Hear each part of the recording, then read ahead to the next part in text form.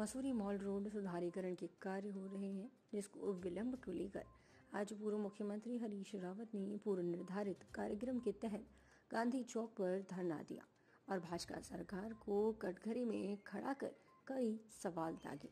गांधी चौक पर गांधी जी की प्रतिमा के नीचे आयोजित धरना प्रदर्शन में शहर कांग्रेस के साथ ही होटल एसोसिएशन मजदूर संघ शिफन कोर संघर्ष समिति के साथ ही स्थानीय लोग भी मौजूद रहे। मसूरी से अजीत कुमार सिंह की रिपोर्ट। ये तो भारत वर्सेज मोदी जी होने जा रही है। ये तो भारत की जनता एक तरफ़ है और मोदी जी का इंडिया एक तरफ़ है। जो अडानी अंबानी वाला उनका इंडिया है, वो एक तरफ़ खड़ा होगा। उनके बीच में होना है। भाजपा वाले कहीं जाएँ, कुछ जाएँ, अब उनका समय गया।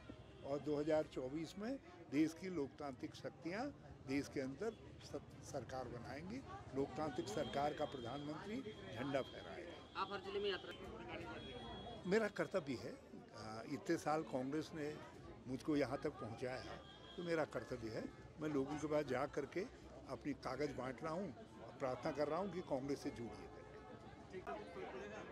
मेरी तो खुद समझ में नहीं आ रहा है कि कौन सी ऐसी रॉकेट टेक्नोलॉजी की ज़रूरत है? कौन से ऐसे जटिल इंजीनियरिंग की ज़रूरत है कि मसूरी के साधारण से काम, मरम्मत के काम नहीं हो पा रहे?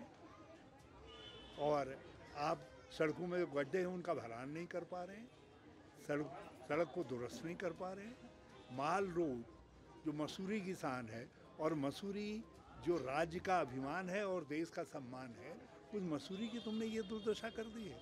ये तो मोदी सरकार और धामी सरकार दोनों का, को आईना है जो कुछ मसूरी में हो रहा है। इसीलिए हमने इनको पंद्रह दिन का समय दिया और आज धरने पर बैठे हैं।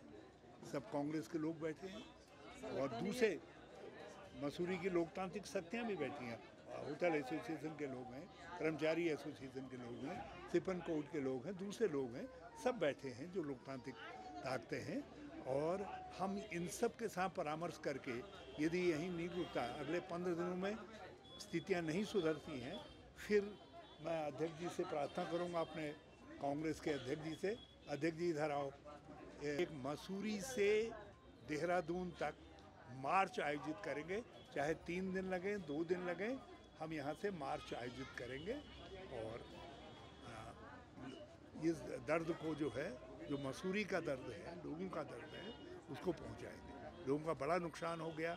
हम समा चाहते हैं कि कुछ लोगों की गलतियों के कारण कुछ लोगों की लापरवाहियों के कारण आपराधिक लापरवाही के कारण मसूरी के लोगों को तकलीफ़ उठानी आपके काफ़ी सारे एक प्रोजेक्ट उन्होंने पूरा किया।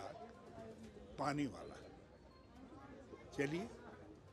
लेकिन उसके साथ जो हमने कहा था कि वाटर हार्वेस्टिंग का भी करेंगे, जो हमने कहा था कि यहाँ पर वन टाइम सेटलमेंट के अंदर चीज़ों को सुधारेंगे, जो यहाँ आवासीय वो बनने थे, परिसर बनना था, बहुत सारी चीज़ें हैं। और अभी इसका कुछ चौड़ीकरण का काम था, कुछ मार्ग को और सुधारने का काम था, जिसका आधा काम हम करके गए थे तब वर्किंग तब टूरिस्ट सीज़न आ गया था, इसलिए हमने उस काम को फिर वहीं पर रोक दिया था।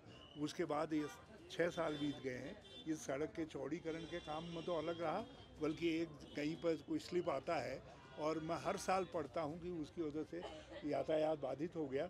उसको भी उसको भी ये ठीक नहीं कर पा रहे हम काफ़ी एक महीने से संघर्ष कर रहे हैं। मसूरी की लड़ाई कभी पहले हमने सर्वप्रथम ज्ञापन देकर फिर हमने स्वयं धरना दिया और आज हरीश रावत जी को मजबूर होकर आज मसूरी के हित में धरना देना पड़ रहा है। तो कहीं ना कहीं जो ये भाजपा की सरकार है, जो गूँगी बहगी बहरी सरकार है, जिनको जनता के हित कहीं दिखाई ही नहीं देते, उनको सिर्फ़ ढोल निगाड़े, शिलान्यास करना, घोषणा करना सिर्फ़ यहीं तक सीमित है भाजपा की सरकार। और मसूरी आकर भी उन्होंने यही सब काम किए हैं। धरातल में 12 साल विधायक को हो गए, हम बार बार पूछ रहे हैं 12 साल में आपने मसूरी को दिया क्या है? क्या कर रहे हैं आप मसूरी के लिए? लेकिन उनके पास कोई जवाब नहीं है।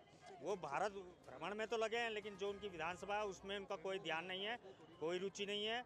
आज हमारे पूर्व मुख्यमंत्री हरीश रावत जी यहाँ आए हैं और मसूरी की समस्याओं की जो ज्वलन समस्या हैं, उनको लेकर यहाँ पर बैठे हैं। उन्होंने उन्होंने भी अपने वक्तव्य में कहा है कि जो, यहाँ जो मेरे ड्रीम प्रोजेक्ट थे मसूरी के लिए, वो जैसा मैंने छोड़ा था, आज जस के तस है, उन्हें आगे कहीं नहीं बढ़ाया गया है। और जो योजनाएँ मेरे द्वारा यहाँ पर लाई गई थी कहीं कहीं ना कहीं उनमें से एक योजना तो लगभग लगभग पूरी हुई लेकिन आज भी उसका उप, जो उपयोग है वो जनता को नहीं मिल पा रहा है।